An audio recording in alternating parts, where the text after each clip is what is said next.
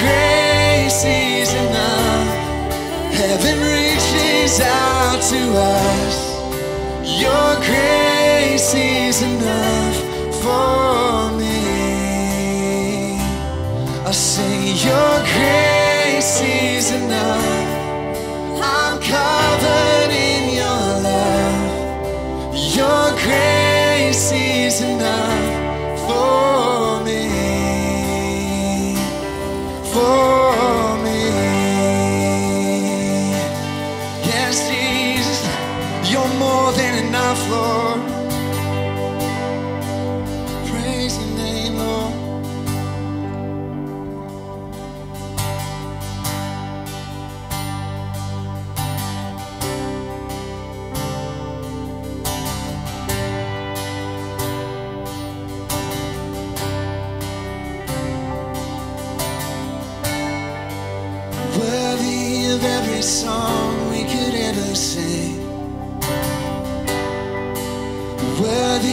For all the praise we could ever bring. Worthy of every breath we could ever breathe. We live for you. We live for you. Jesus, the name above every other name. Jesus, the only could ever say. You're worthy of every breath we could ever breathe. We live for you. We live for you. And holy, there is no one like you. There is none beside you. Open up my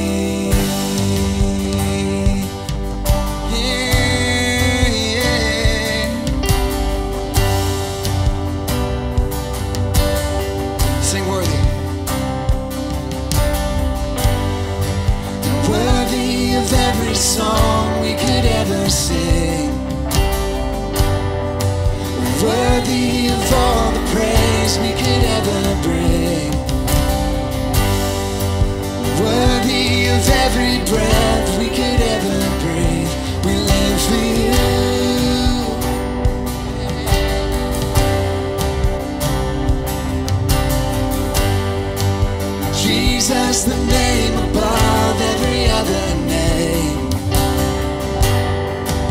Jesus, the only one who could ever save. Worthy of every breath we could ever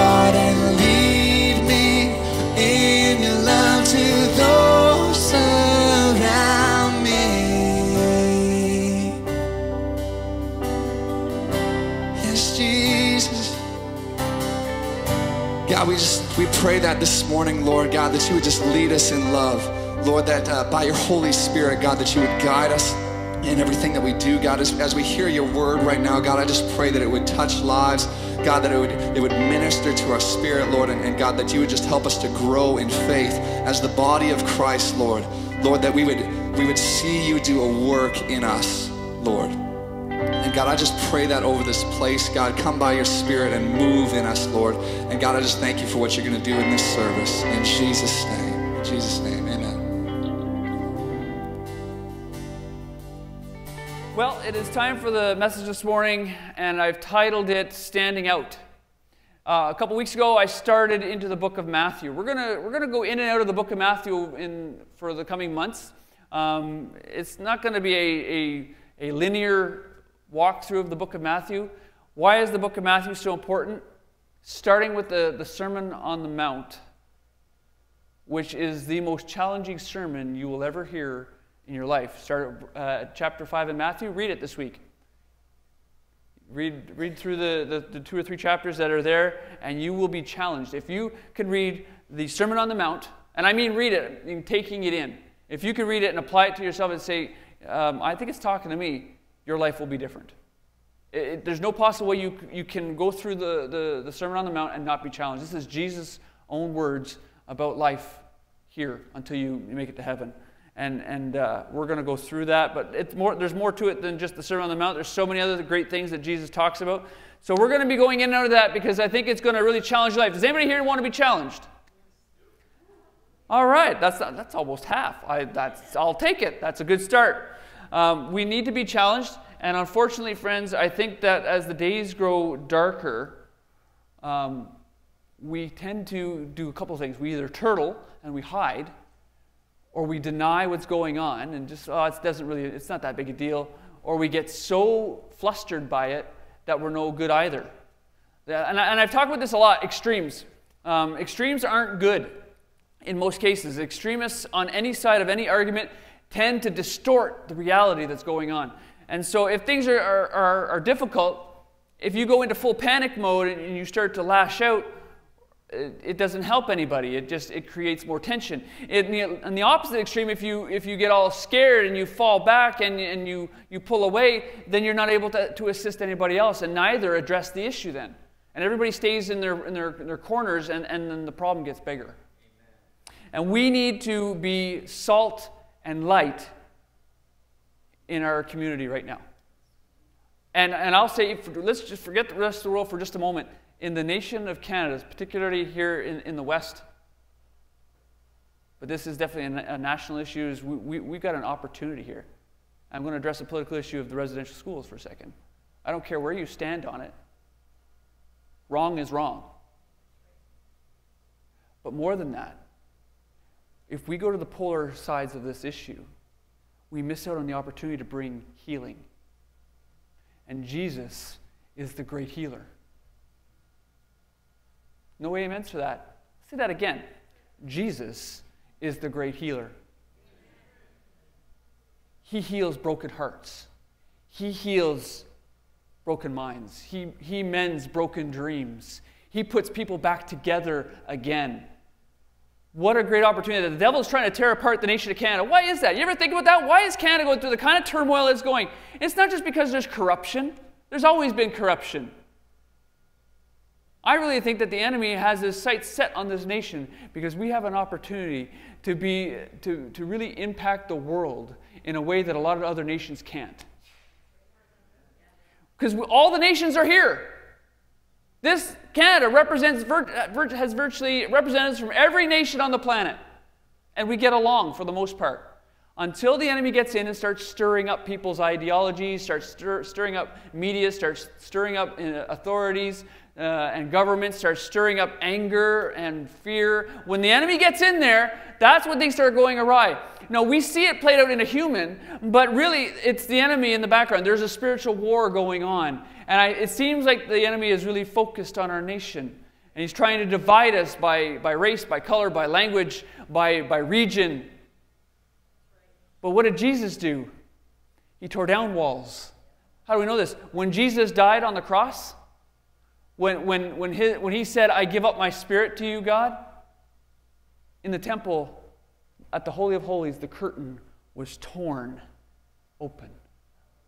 And the block between God the Father, Yahweh, and the people was made way. He brought us together. The family was reunited like it was supposed to be in the garden. I think that the church has a great opportunity. And yes, Pentecostals may not have any, any, any role in, in what happened in the past, but we can have a role in the future. And we should move into there with healing, with understanding, with, with the, the ability to listen the ability to restore. We should be the greatest bridge builders this nation has ever seen, but it'll never happen if we're not the salt and the light to this nation. So that's what today's message is all about Matthew chapter 5, 13 to 16. And we're going to read that in just a second, but here's the main thought for the day. A Christian's life should reflect Jesus and stand out as something better than what the world has to offer. We should stand out as something different. We should be odd. We should be strange to the world. I don't mean act weird. The world doesn't need more weird. But it does need people who are willing to stand out and be different. Diversity isn't a problem. What the problem is, is people with a lack of passion for the faith that Jesus has put in them. And so, a Christian's life, your life, if you're a believer, if you say, Yep, I'm, I'm a Jesus follower, I follow Jesus, then your life should be reflection of Jesus. And Jesus was different than anything else. Even today, secular scholars look at Jesus and say he was a great man. But we know better, as those who have been redeemed through Jesus, that he wasn't a great man, he is a great God. And he didn't stay in the tomb. He didn't stay stuck there. He stepped out on his own power, on his own free will, and he destroyed death, hell, and the grave and brought freedom to anybody who would believe on him for the remainder of their life. But he gets into this Sermon on the Mount, starting with the Beatitudes. And we'll, the Beatitudes are going to hit that long way down the road because lots of people know it. But right after that, we get to this, this point where he talks about salt and light. He gives two analogies or two examples. And he says, You're called to be salt and light. And he'll explain it, and I'll read it in a minute. But it makes us stand out as something better than what this world has to offer. Right now, think of it. Right now, the world has what to offer fear. Get your vaccine, don't get your vaccine. The vaccine's bad, the vaccine's good. Uh, you're going to die of a variant, not die of a variant. You're going to be mangled from this or mangled from that. Uh, the terrorists are here, the terrorists are there. There's violence there, there's violence here, there's drug overdoses there, there's suicide here. All these things the world's throwing at us. You're going to have to get a mark on your hand. You're not going to have to get a mark on your hand. You have to have a passport. You're not going to have a passport. What do you see with the world? You see all these extremes to cause you to be fearful, to cause you to be compliant, to cause you to not look to the one who has the answer for your life, who is Jesus Jesus Christ. So we have the greatest opportunity, and if we don't seize it this year, we're going to miss out on it. And I believe God is looking to handpick churches. And when I say churches, I mean bodies of people in communities all around this nation. God is looking to handpick bodies that are willing and will be daring enough to stand out and be different from all the garbage that the world is throwing at us to not give in to getting into all of our petty conspiracy theories or getting into all of our over compliance or under compliance or anywhere in between to stop to move away from those issues and to become the, the, what we're called to be a light in a dark place. To be seasoning to be the flavor of god. Where everything seems bland we're called to stand out. So let's look, look at our text. Matthew 5 13 you are the salt of the earth, but if the salt loses its saltiness, how can it be made salty again? It is no longer good for anything except to be thrown out and trampled underfoot. You are the light of the world. A town built on a hill cannot be hidden. Neither do people light a lamp and put it under a bowl. Instead, they put it on its stand, and it gives light to everyone in the house. In the same way, let your light shine before others that they may see your good deeds and glorify your Father in heaven. This is the passage. You see two examples that Jesus is giving. This is right after the Beatitudes. And, and you see two things that Jesus is talking about. I'm going to jump to the last verse for a quick second so I can tie this together properly. Go back to verse 16. There it is.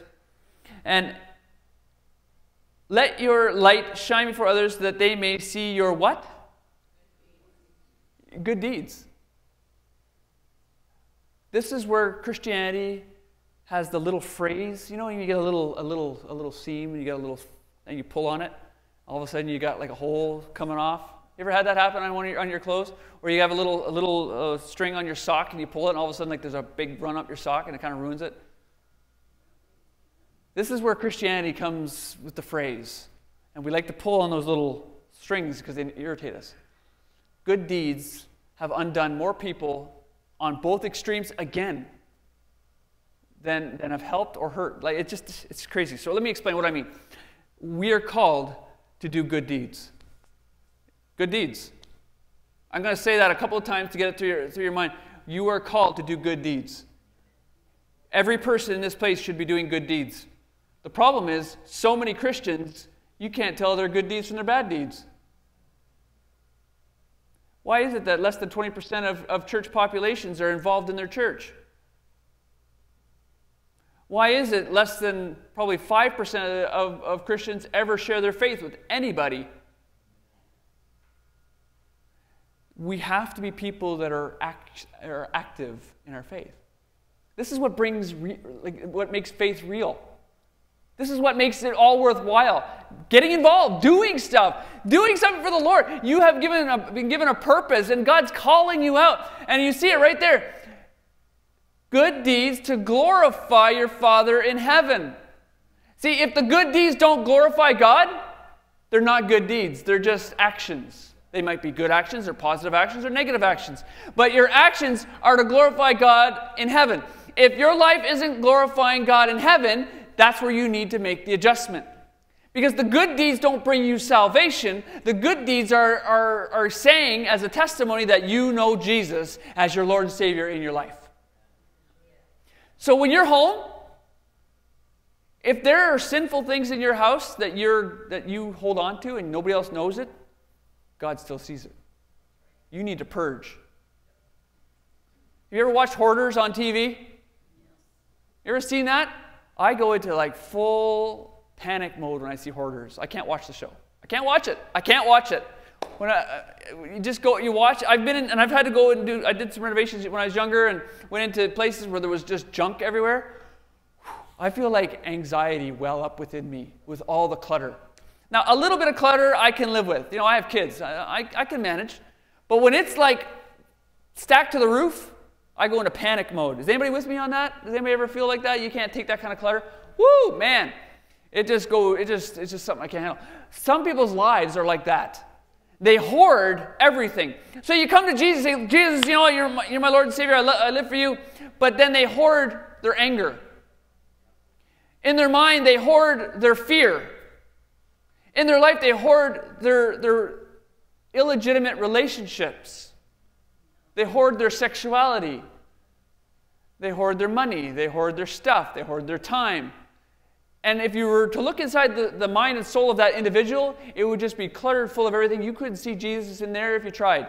But you, you know, as you move some things, you'd find a little piece of Jesus here, and you move something there, you'd find a little bit of sin there, and it, that, that's basically how their life becomes. Well, we're called to, to glorify God in heaven. So if good deeds don't glorify God in heaven, they're not good deeds. They're just actions. So let's go back and we're going to go through this text because I need to break this down because you are called to be salt and light. We're called to bring flavor to the world. So I want to give you a couple of examples. We just had a heat wave a week and a half ago, right? 46 degrees, cooking cherries on the vine and, and things like that, damaging crops. It's an extreme event. The city put out a, request saying, hey, would you be, you know, who would be willing to be a cooling center? Wouldn't it have been great if we had been organized enough that we could have been the cooling center? It's kind of nice and cool in here right now, isn't it? We just, we just put $30,000 into a new air conditioner. Wouldn't it have been great if we had a few people here with water, maybe some snacks, and just were able to sit around and, and talk with people as they cooled down from the community? You know, some of them are going to be unsavory. Some of them are going to come in and say, say the worst swear words in this place. I want you to know this isn't holy. This is a building. If it burns down tomorrow, it doesn't matter. We'll meet out in the ash pit and we'll praise Jesus there. Uh, my, my faith is not bound to beams and lights and cameras. My faith is tied to my Savior in heaven.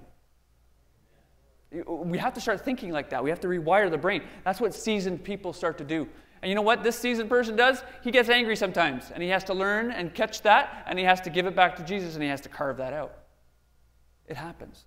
So think of it. If we had an opportunity, imagine we could have used our facility to do that. Come the fall, we're going to be doing a 12 step program in this building. We're going to start to use this building not just for nice Christian songs, we're going to do some sweaty work where people are going to come in hurt and they're going to leave healed. We're, going to start to utilize this property. I want to see us down the road start to use our, our parking lot to let those kids that I, and I, I go out and I meet with them and they bike around and they, they do skateboarding. I got some ideas down the road. I'd like to be able to utilize the, the parking lot to get more kids here. That means we need people power. We need people that want to, to be grandmas and grandpas, moms and dads, and brothers and sisters, and aunts and uncles to these people. It means everybody needs to get all hands on deck because there's a storm a coming and if we're not ready, we're not going to be able to bring the light to the people that are coming that Jesus is offering. And he's looking for churches in this very town at this very moment, say, hey, are you willing to step forward and do the dirty work for me? I'll tell you this much there is nothing more rewarding than to see somebody who absolutely hated you and hated God one day come to the realization that there's a, there's a power that created this universe that loves him so or her so much that they died on a cross for their life, and that if they would just give it over to them, that anger would be gone in an instant. And if it takes 10 years to do it, it was the best 10 years of your life that you've ever spent. And so we go back to verse 13. You are the salt of the earth, but if the salt loses its saltiness, you can't make it salty anymore. We run the risk as believers of getting to the point where we lose our saltiness. Not being salty. Let's not confuse the two. Have you ever been salty? Anybody in this place ever been salty? You know, too much salt is not good. But more often than not, and this is Jesus saying this, but if it loses its saltiness, how can it be made salty again? It's no longer good for anything church, and we, we see that if you go to Revelation and it talks about the seven churches, lukewarmness is the biggest danger that we have ever faced as a, as a believer. And you know something? Canada is lukewarm, apathetic, and, and is sitting on its hands. I would rather us be extreme one way or another so at least God then could turn the ship. But when you're, when you're stuck in the water with no engine, you're going nowhere. Friends, we, we have, to, uh, we have to, to make sure that we are salty enough to season the meat, to season the, the, the, the meals that we're putting out there. What are the meals? The hope of Jesus. That you no longer have to be stuck in your sin. You're, you no longer have to identify with the evil that was in your heart. You can now identify with the healer and the Savior who wants to purchase you out of death, hell, and the grave. And so we see that. We can't lose our saltiness. You got to be aware that you, you are, run the risk when you go to church every week and you don't, don't put out anything for the Lord in your life that you could become very lukewarm. And God says, I spew out lukewarm things. But I, I can work with cold or hot. So maybe, it's, maybe that's why the Lord is allowing the extremes in our country to take place. Because He can work with extremes. But you can't work with people who are in the middle. And the very plan that the enemy has to try to cause us to be extreme and go at each other's throats could be the very thing that God uses with a few people that would dare to believe in Him and trust Him and, go in the way He's calling them to bring them together to unify. Man, I would love to see a, an awakening take place in this country that would unite every color, every language, every person in this nation. That we would no longer be all about pulling down statues and burning down buildings and hurting one another, but we'd be about talking and listening to one another and trying to work through the problems that we do have so that we could come together as brothers and sisters under God. And that brings us to verse 14. Then he says, After you, season, you are the light of the world. This is the second example. You are the light of the world. So I'm going I'm going to personalize it. You're the light of Canada. You're the light of BC. You're the light of the Okanagan Valley.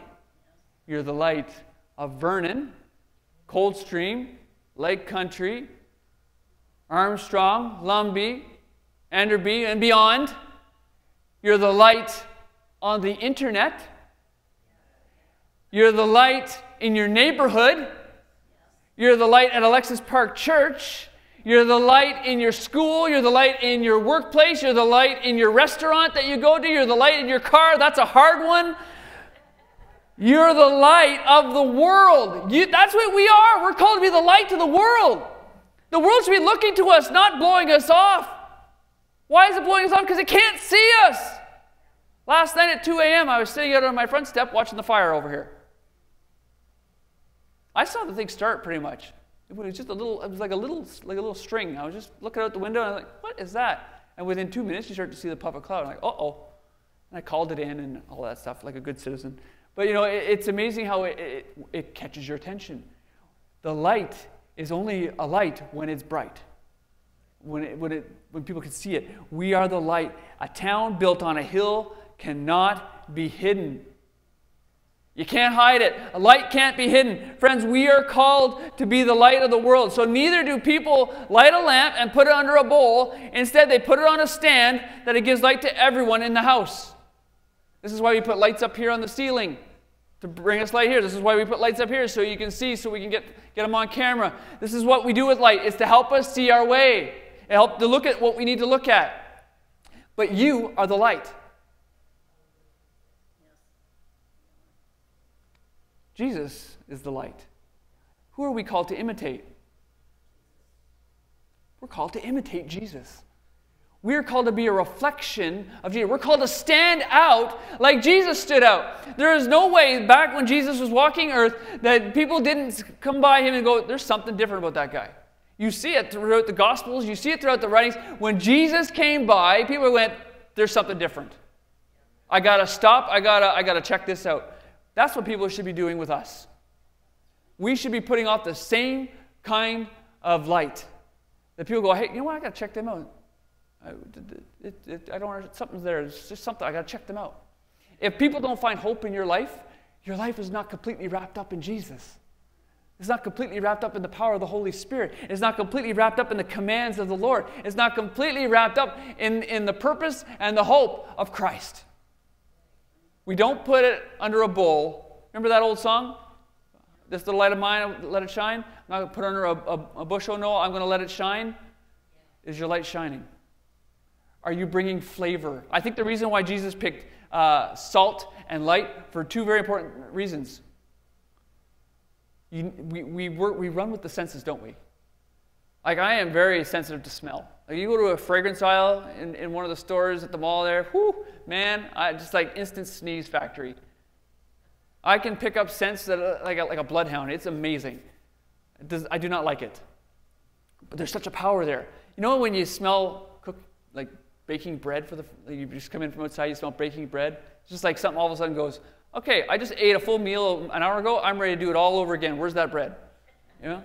You smell like, and maybe, you know, maybe you're like me, you like some good, beautiful bacon. It's sizzling in the, in the thing, and you smell that and you're like, okay, I, one's not enough. I want the whole pan. You'll have to get your own pan. just, just like you, you walk in and you smell fresh brewed coffee, and you're just like, gotta have that. It's something but there's a power in the smell. It's the same thing with light. Like light, even, even if you have a hard time seeing, any bit of, if you can see at all, any bit of light will, will help you. It will draw you. It'll, it'll draw your attention. And Jesus says that here. You know, uh, you're called to bring flavor to the world. You're also called to show them the way. We're called to show the world the way. How do we do that? We forgive quickly. We, we have got to learn how to forgive quickly. We've got to be the people that don't walk in fear. And this last year has been marked in fear. And the coming year is going to get a whole lot better. The world wants to throw fear at us. We should be people of, of, of absolute courage. That doesn't mean we're not wise. If you're in the middle of a thunderstorm, you're going to have to take cover. You're not going to stand out in the lightning, you're going to get hit by it. I mean, even God's not going to fix stupid. Let's be honest. Sometimes we just act stupid. We're, we're called to, to, to not be like that. We're, we're called to do the opposite. So, friends, we need to understand that God puts these, we're called to be light and flavor um, through, through salt. And you know, too much of anything hurts as well, doesn't it? If you stare at one of these lights, if I look at this light right now, I will not see you for the next half hour. I will be completely blind because be one big square light right here. Same thing is if you take a whole thing of salt and you down that you're going to dry out real fast, aren't you? And, and that's the thing. We're not called to, to, over, like, to overdo it with people. We're called to shine and to bring flavor. Sprinkle it on. A little goes a long way. That means, what, what is it? What's the other analogy that God's trying to put across there? You don't need a lot to do a lot. You may think, oh, well, then if I'm not the, if I'm not the speaker, then I'm not, you know, I don't really have an effect. No, no. You just getting involved with somebody in their life and, and, and encouraging them and praying for them and talking with them and just being an example to them. Not telling them how to do everything, just live it out before them. Be, be the, what Jesus was for you the kindness and the love and, and, and the power of God through your life.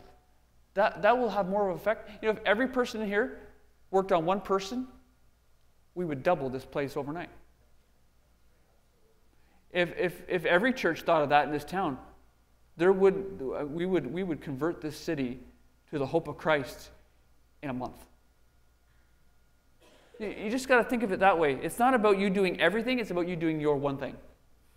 And here's the main thought another main thought you cannot lead others where you're not willing to go yourself.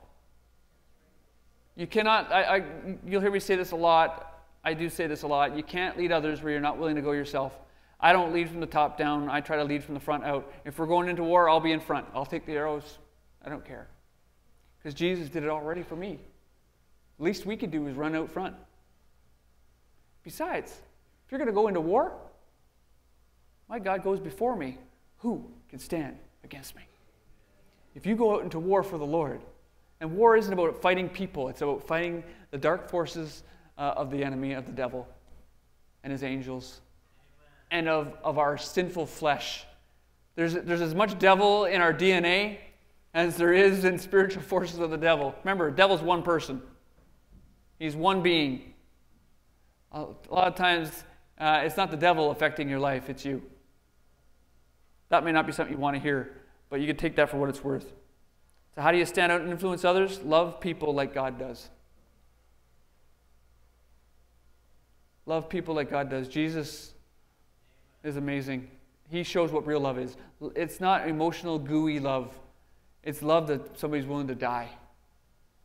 Die to themselves and die even in their life if they have to. John 3:16, for God so loved the world that he gave his one and only son that whosoever believe in him would not perish but have eternal life.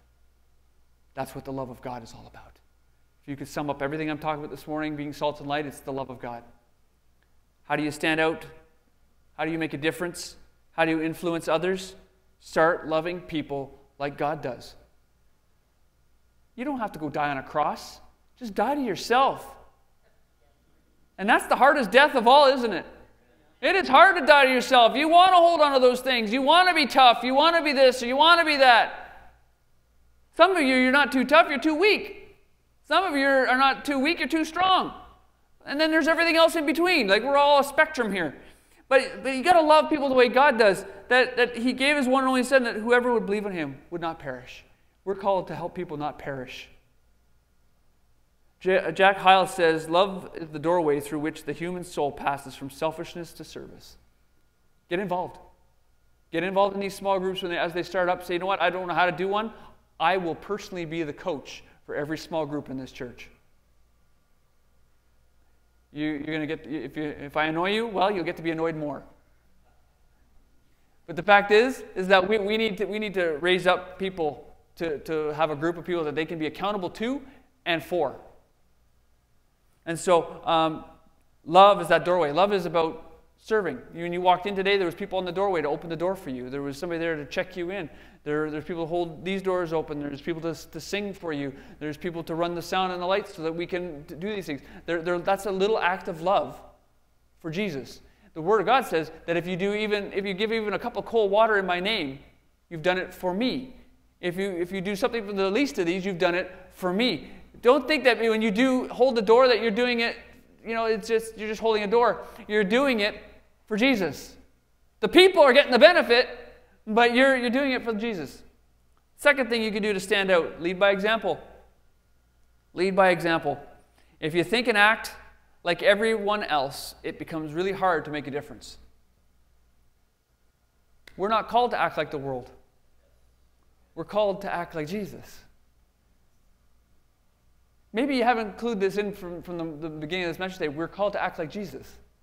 Jesus is the one we're, we're called to be like. Jesus is God. He is the Son of God. He is our Savior. He is the one we're called to ex- be the example, to live the example of. That's who we're called to be like. Jesus is the one that sets us free. Jesus is the one that sent the Holy Spirit. Jesus is the one that's coming back for his church. Jesus is the one that's going to defeat death, hell, and the grave. Jesus is going to defeat Satan and his angels. Jesus is going to reign on the throne for a thousand years. Jesus is going to reign for eternity in heaven. I think we need to get to know this person called Jesus. Just put it out there. But if we think like the world that Jesus doesn't have the power, we'll have no power. We'll, we'll stay stuck. We'll stay afraid. We'll stay discouraged. We'll stay defeated and we'll stay despondent. And Vernon will look the same next year as it does today. Canada will look maybe even worse than it does today. Friends, we have such a great mandate. It's not about everybody one, one, you know, going out into a giant physical war and blowing things up. It's about blowing up spiritual realms that are against the Lord. And you do that one relationship at a time. Lead by example. It, it, it, you want to make a difference? Pick one person God's put in your life and love on them like Jesus. And you'll be amazed at the influence, the impact, and the change that will start to take place in their life. Remember, it's not, it's not up to you to get them saved, it's just up to you to show them the door. They've got to walk through it. 1 Timothy 4:12 says, "Don't look down on anyone because you are young." This is Paul saying this to Timothy when you talk about leading by example. He says, "But set an example for the believers in speech, in conduct, in love, in faith, and in purity." If I had time, we would just do a message on purity. But we're called to be an example in how we talk, in how we operate, in how we love, in the faith that we have in God, and in the purity in which we do all those things. That's, that's what being an example is. You, do what other people are not willing to do. And we do it because Jesus led the way on that. And then the last thing today is this become a motivator.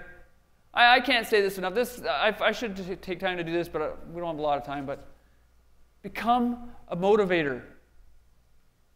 I know I, I see, I, I, see comments online, people blame a lot of pastors about, oh, they're just motivational speakers.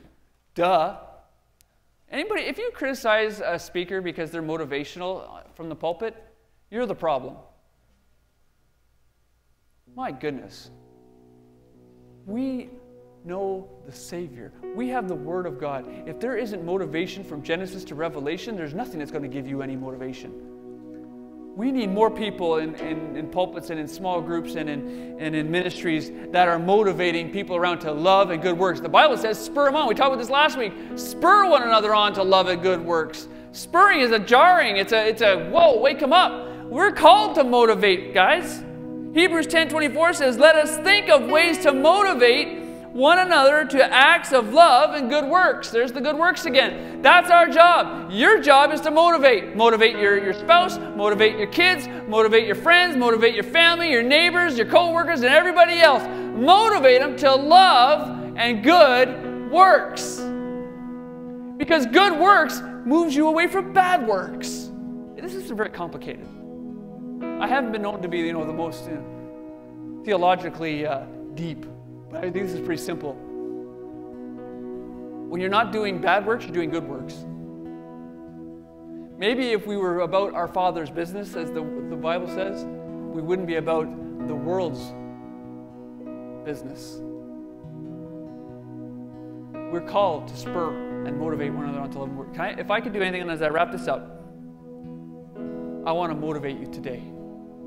I want to motivate everyone, the youngest person to the oldest person in this place.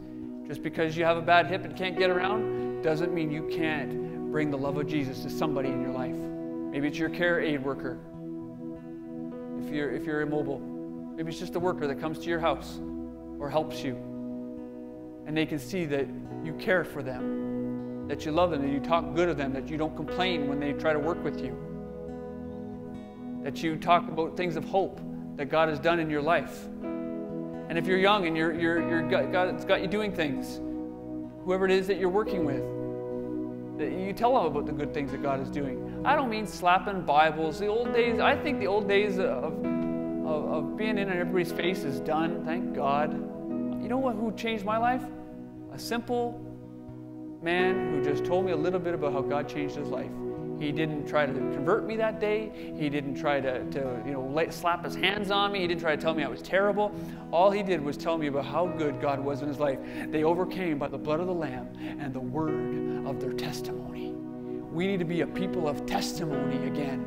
And we need to go out into our community when we leave church, and we need to be like that church when we're scattered as much as when we're gathered. If the songs that we sang this morning aren't in your heart when you leave, put them back in your heart. Put them on repeat. Take, put away your secular music for a while and put on some music that glorifies the Lord. If your readings of, of, of, the books that you're reading aren't, aren't bringing you around to thinking about the Lord, put them aside for a little while and pick up the Word of God and allow that to, to permeate your heart. Get involved in church. I'm putting the challenge out. You need to be in small groups this fall. We, we all need to be in them. We need to do Alpha. We, we need to do Glow Party. We, we need to do baptisms.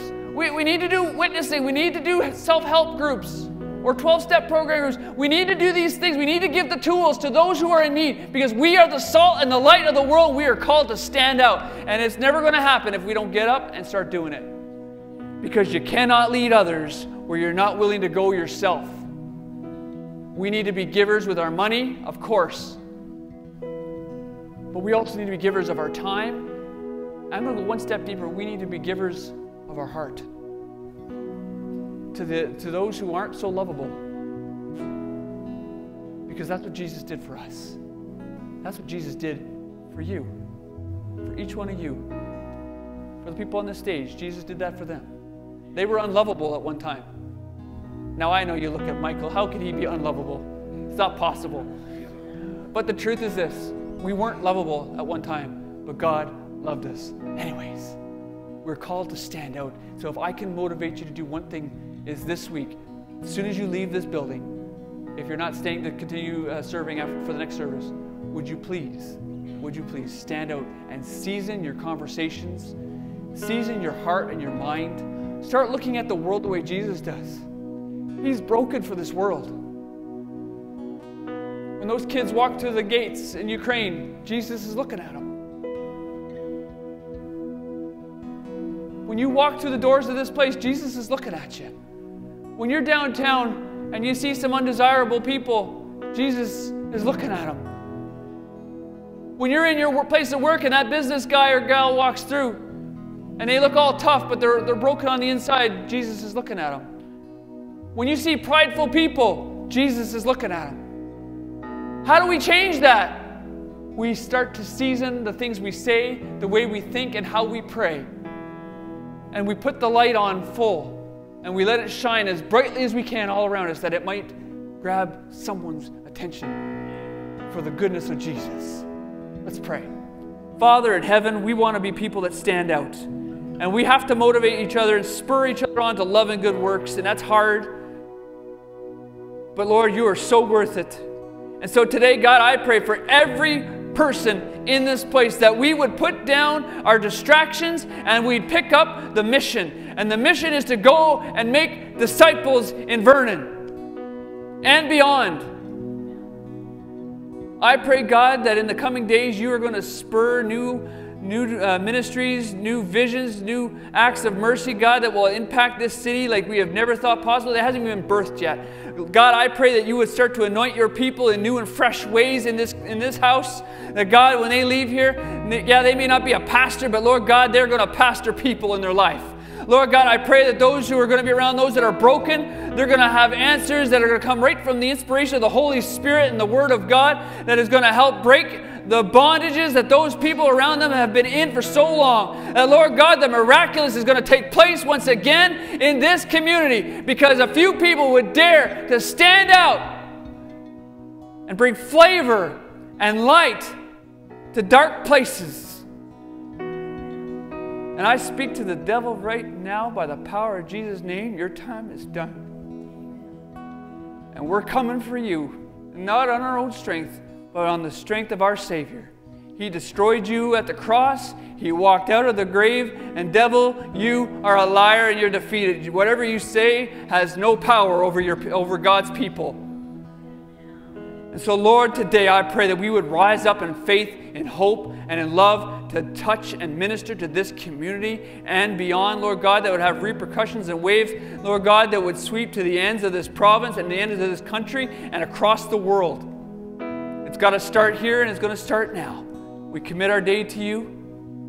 We commit our lives to you that we're going to stand out anew. We're going to be the salt. We're going to be the light.